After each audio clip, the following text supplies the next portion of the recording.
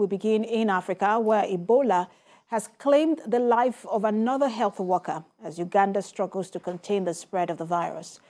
Dr. Walugembe, a laboratory technician at Mubende Regional Referral Hospital, is the fifth health worker to die from Ebola since the latest outbreak in Uganda was confirmed on September the 20th.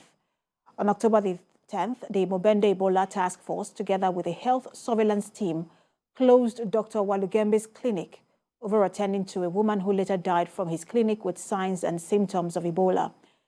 This latest outbreak has killed 20 people among 58 recorded cases.